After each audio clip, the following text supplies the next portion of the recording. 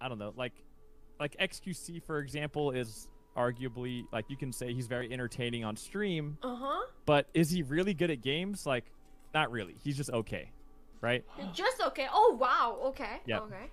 But is it is Yeah. it is So it like, isn't he not a like pro gamer before? I mean, he used to be a pro gamer in this game that's like a dead game now called Overwatch, and he played this character that was a monkey that you didn't have to really do anything except jump and just like shoot in a big area where people might be. It's like a pretty. Had yeah, it was pretty easy. Uh, wait, So- wait, wait a minute, wait a minute. Is he talking about the multi-master StarCraft 2 competitive player? Is he talking about the multi-gladiator World of Warcraft arena champion? Wait a minute. Is he talking about the higher rated multi-master League of Legends player? Or the rank 1 multi-season Overwatch World Champion MVP? Wait a minute. Wait a minute. His medal. Oh shit. Hey, wait. Can we, hey, hey, uh, production, can we get a zoom in over there, please? Production, come on, pick it up.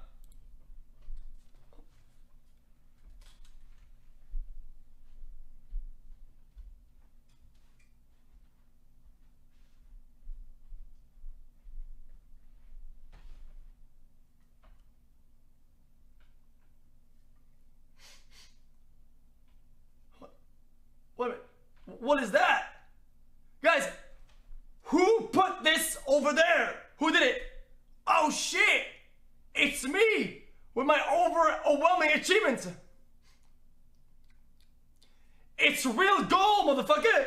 It's real. No, no, it's not plastic. Look, look. Look, Jake! That's for the mediocre uh, player.